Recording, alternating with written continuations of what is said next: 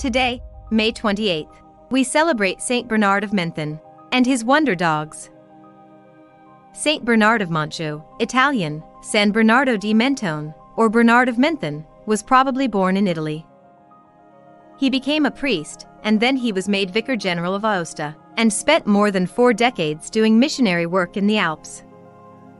He is credited to be the founder of the famed hospice, and the monastery which has served travelers for nearly a millennium. They function as a refuge in the most dangerous part of the Western Alps. Patron saint of animal guides and rescuers. Since the most ancient times, there has been a path across the Pennine Alps leading from the Aosta Valley to the Swiss canton of Valais. The traditional route of this pass is covered with perpetual snow from 7 to 8 feet deep during the year.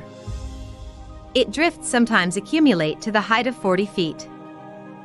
Although the pass was dangerous, especially in the springtime on avalanches, French and German pilgrims often used it on their way to Rome. This is called St. Bernardo's Pass, the most famous pass through the Alps in the history of Italy, through which Napoleon passed with his troops, determined to conquer the territory. The witness of the dangers of the passage and pilgrims involved in storms or hit by small avalanches was buried in the snow. This way, St. Bernard created this inn.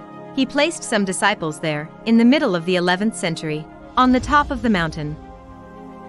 The monks also began breeding dogs who'd be perfect for the sorts of mountain rescues needed in the area. The breed that resulted, now known as St. Bernard, is an enormous dog with a low hanging, heavy tail, and a white coat with red or brown brindle and black around the face. Thus, were born the Augustinian canons, St. Bernard together with their mountain dogs, became the guardian angels of the valley. Saving countless people throughout the years. To learn more about the saints that loved animals, please visit cathedralofthesoul.com.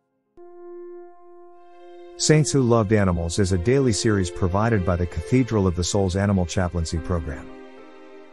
The series aims to raise awareness about the importance of the preservation of species for future generations. It is also a way to bring to life the work of saints and other spiritual and mystic figures that became patrons of our environment and animals.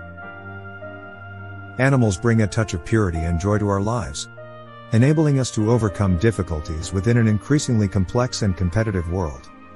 It is imperative to respect and take care of our planet like everything else. It is our home. Earth is our common house. Pope Francis coined this expression in his encyclical called Laudato Si, Blessed be God, or Care for Our Common House.